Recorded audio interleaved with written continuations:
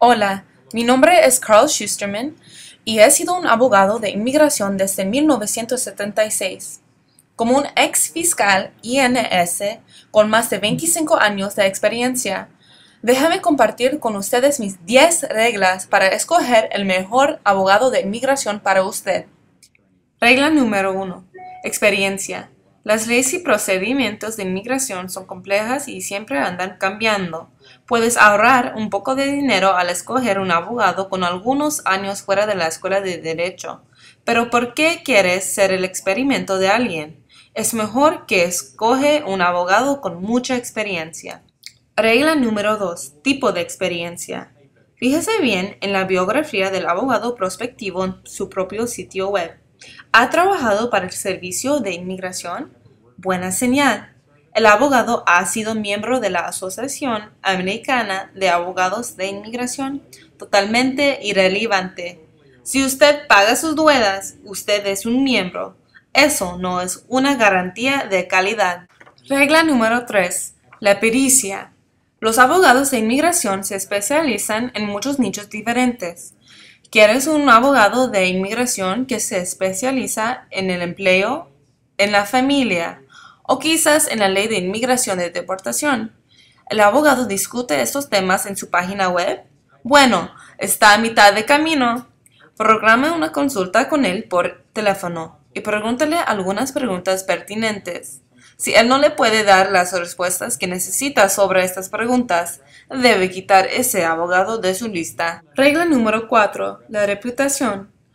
Aunque un abogado tenga la experiencia y los conocimientos para manejar su caso, debe saber cómo él es considerado por sus colegas en la barra de inmigración.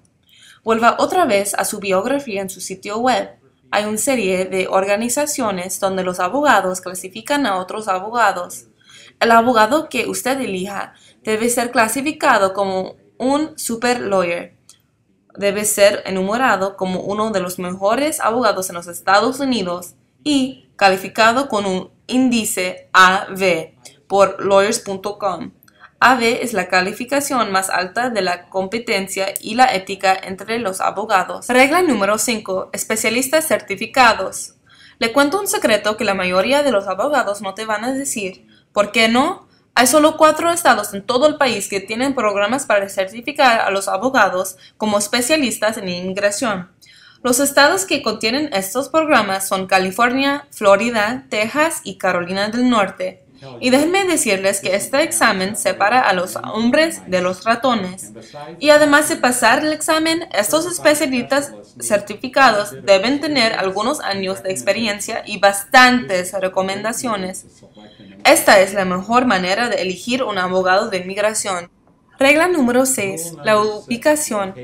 Cuando compra una casa, las tres palabras más importantes son ubicación, ubicación, ubicación. Pero es todo lo contrario cuando está eligiendo un abogado de inmigración. ¿Por qué? La ley de inmigración es ley federal. Un abogado de inmigración en cualquier estado puede practicar en cualquier lugar en los Estados Unidos.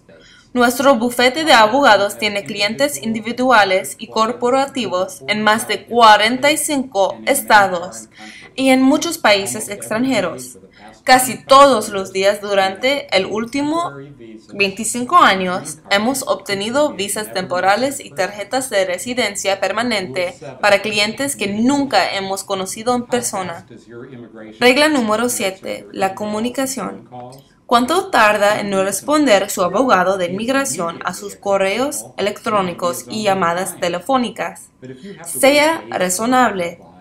Si él es accesible, es posible que eres su único cliente, pero si tienes que esperar días para una respuesta, cambie su abogado. Regla número 8. Los empleados. Las reglas y las leyes de inmigración son muy complicadas y no existe una persona única que lo sabe todo.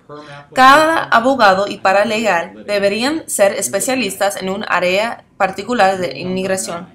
Uno puede ser un experto en aplicaciones de PERM, mientras que el otro será un litigador. Regla número 9. El error más grande que los inmigrantes cometen al escoger un abogado de inmigración Esta regla sirve más como un consejo. La gente se siente más cómoda al elegir un abogado de inmigración que habla un su idioma o a quien nació en el mismo país. Al escoger un abogado de esta manera, funciona más en la elección de un marido, pero resulta en casos desastrosos de inmigración. Ya lo sé muy bien porque he tomado más de un mil casos de estos abogados y he tenido que limpiar el desastre que hicieron. Finalmente, regla número 10 dinero. Ya lo sé, el dinero es una consideración muy importante. Por eso, hay algunas personas que conducen Hondas y otras personas Mercedes.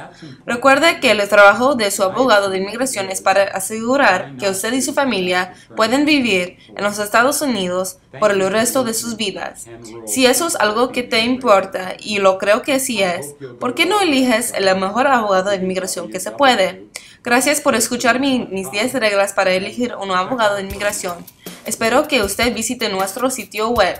Buena suerte.